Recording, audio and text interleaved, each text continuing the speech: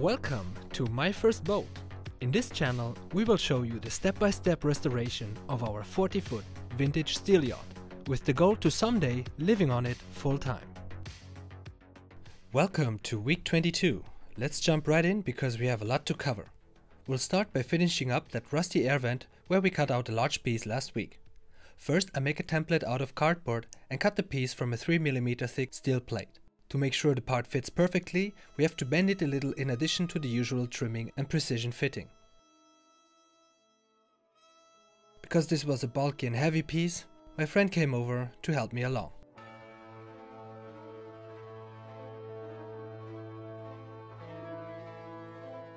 Once the piece fits perfectly, it's time to weld it in place. For this we first use the MIG welder to make a few fixing points and then we finished up with the stick welder. A quick go with the angle grinder to clean up the welds. A little bit of paint and there you have it.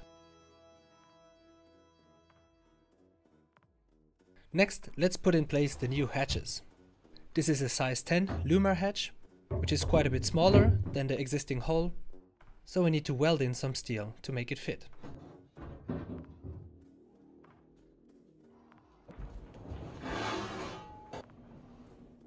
I was able to cut out all the parts I needed from the leftover of the 3mm thick steel plate which we used in the beginning. After making sure the part fits perfectly, I weld it in place. Here again, I used the MIG welder.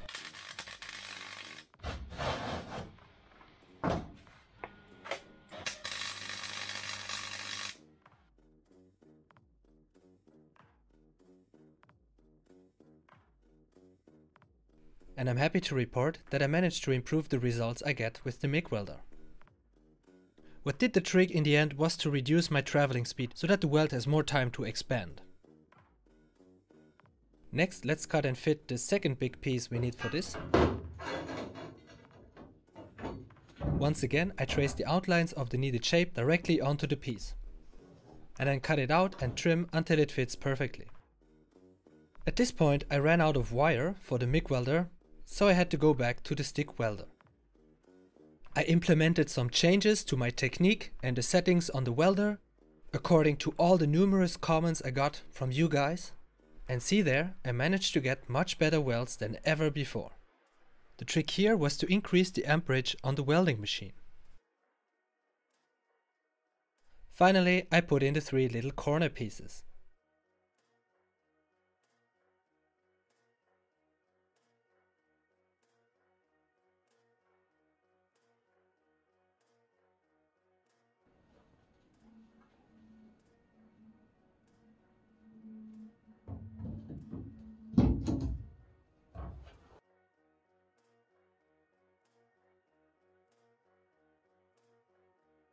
The only thing left to do now is to close the welds from underneath, clean everything up with the angle grinder, and then this is also done.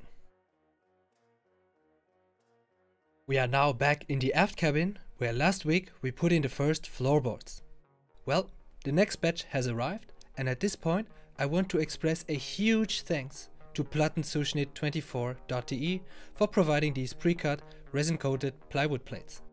If you enjoy these videos, then you should send them some love, because they helped us greatly moving this project forward. If you're in Germany, definitely do check out their online shop.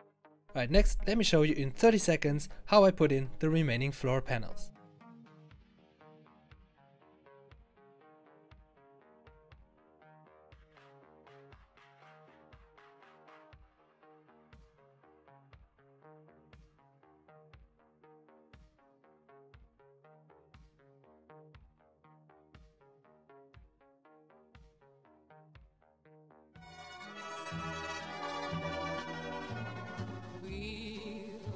Again. Don't know where, don't know when, but I know. Alright, so all the floorboards have been cut and put in place. No, no, no, no, wait, not yet. Because we still have to cut and trim the remaining narrow wooden beams and make sure all the boards are level you can see right now there's like this entire area here is is higher because the angle profiles underneath they are bent and so we need to work on that and to do that we first gonna have to remove all the boards again so let's do that right now Here you can see how much these angle profiles are bent in some places. And here's what I came up with to compensate for that. First I trace the area that is bent onto the narrow wooden beams. I then use the angle grinder with a sandpaper disc to cut some kind of a slope running alongside the beams.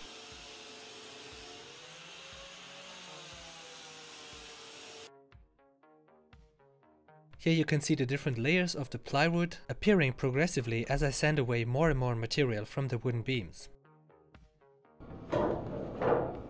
And there you go. At first sight this seems about right, so let's do the other beams that need processing and then we can put the boards back and see what we got.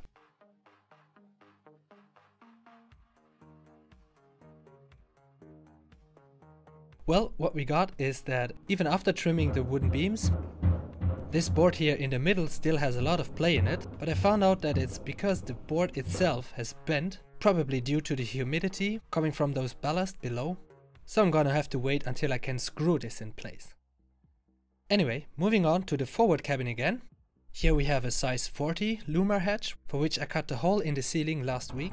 And this is actually the first test fitting I did. And see there, it fits perfectly right off the bat. The only problem is that the roof is slightly arched and the hatch is flat, so we need to build some kind of frame to compensate for that. And before we continue, I have to put in a little disclaimer here. The solution I came up with is my own personal solution. It was not recommended to me by anyone else and I do not attempt to teach anyone how to do this. Some people may not agree with my methods and that's fine. Feel free to let me know what you think in the comments. And for now, let's see what I came up with. I start by cutting two thin strips of metal, which I then trim to fit the shape of the frame of the hatch.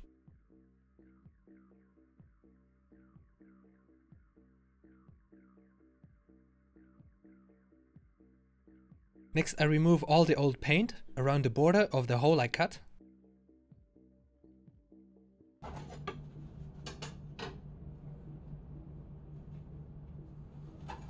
put the pieces in place and the hatch on top to see if it fits. I guess by now you can see where this is going. Now it's hard to show you this on camera, but the gap on each side of the hatch is gone and the hatch is now rock steady. Next I mark the optimal position of the pieces so that when I remove them I can put them back in the ideal place. I then wipe everything down with acetone to prepare the surfaces for the next step which is to fix the metal pieces in place with special adhesive. I use Sikaflex 552, which is resistant to aging and weathering and remains flexible even after curing completely. A positive side effect of this is that it will fill up the areas between the roof and the new metal pieces I'm adding to avoid the formation of a cavity where condensation could form and thus lead to corrosion. Alright, so far so good. After letting this cure for a day, I come back and clean it up with this little steel brush and wipe away the rest with acetone.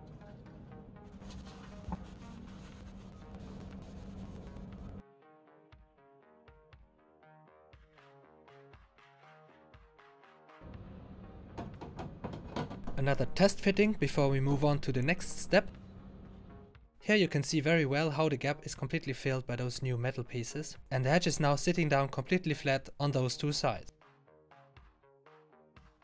I surround the hatch in appropriate distance with some tape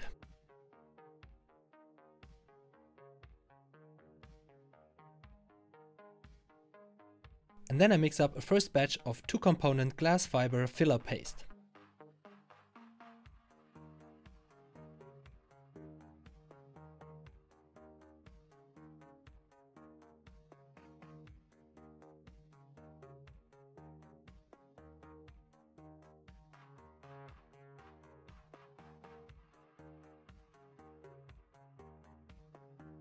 I then apply the glass fiber paste onto the working area and try to mold it as good as possible to the final shape I want, as long as it's still moldable.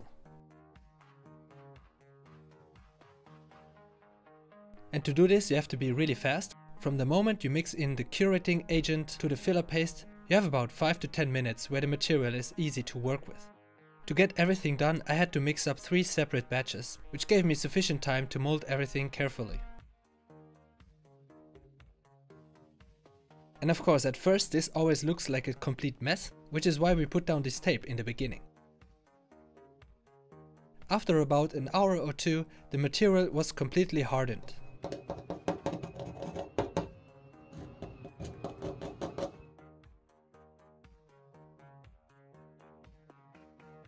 To start, I use this sandpaper sponge, because like this I can get a better feeling for the material than if I use a power tool right away.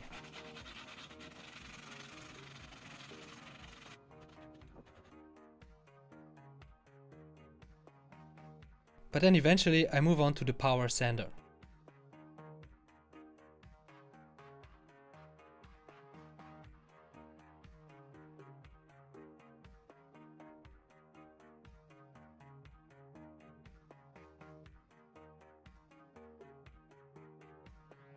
After a first round of sanding, I remove the tape surrounding the hatch and clean up the borders with a knife.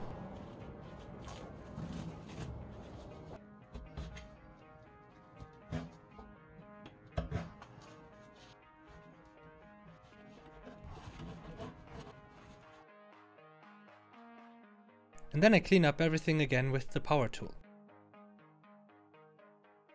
There you go, the shape is 95% there.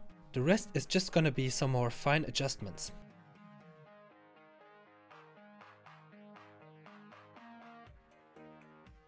But before we do that, of course, we have to drill the holes for the hatch first. And here too, I'm happy to report that I made some big progress.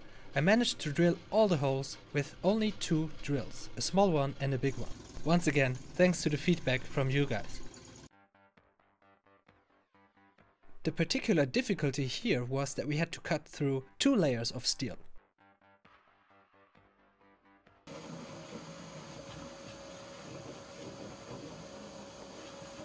Right, now moving on to the fine adjustments. For this we use non-glass fiber but also two component filler paste.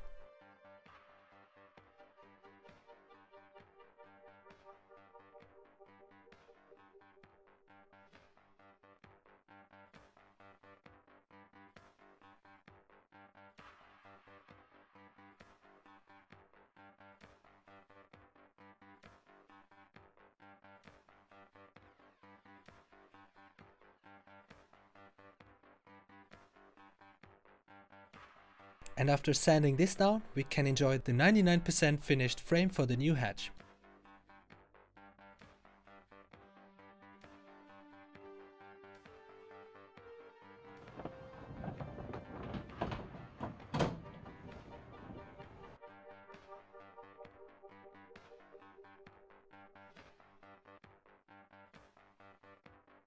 At this point there are only minor gaps of less than 1mm, which I might address later on, but I'm pretty sure the sealant can tackle those.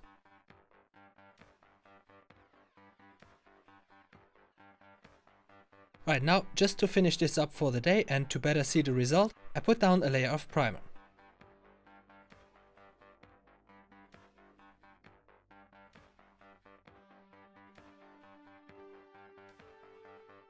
Once again, this is not the finished result, there are still some areas to work on, but I think for now the result is pretty good and I personally am very happy with it so far. Right now let's do the same thing with the smaller hatch and we're gonna run a bit faster through this since the steps are basically the same as with the bigger hatch. First up is drilling the holes.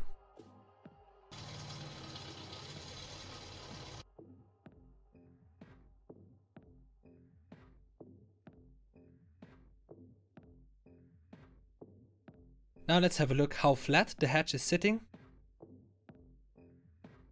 And we can see here on one of the corners there's a larger gap which we will have to address. Here too, we repeat the same process with the glass fiber filler paste. Sanding everything down.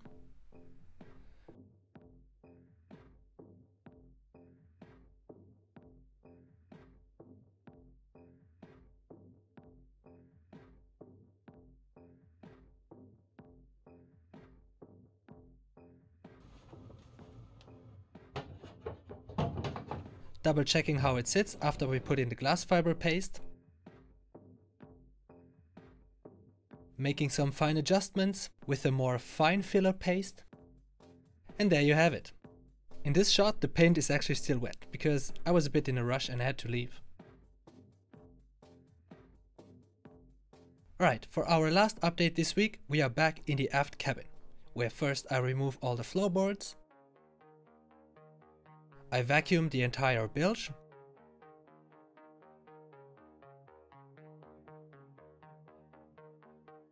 to get everything ready for painting. Again. But rest assured, this is the last time I'm gonna harass you with painting the aft cabin. At least for this season.